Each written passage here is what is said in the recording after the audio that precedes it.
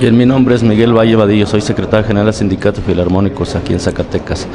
Eh, pues ahorita eh, en sí, pues hemos tenido mucha problemática aquí eh, respecto, decíamos por ahí, de las mañanitas o algunos otros eventos.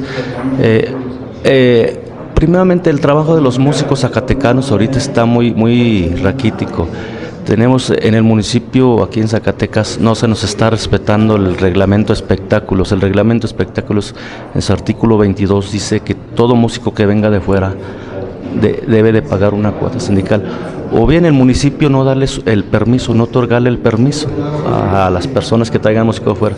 De lo contrario, tiene que haber un grupo local o pagar un desplazamiento.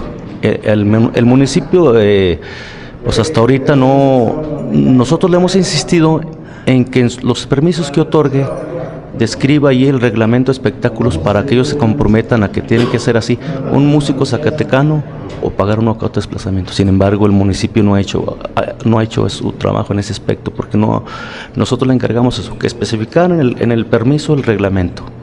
Hay un decreto, el, 107 también un decreto donde, donde hay sonido, también igual debe haber un grupo local. De lo contrario, el sonido no puede trabajar.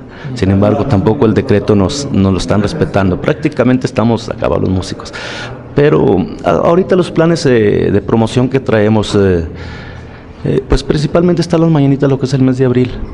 Posteriormente hay la intención de hacer una especie semejante en las colonias. Eh, en las colonias llevar grupos musicales como promoción, pero que la gente, la comunidad se arrime y sepa la música que uno toca lo, que estamos trabajando.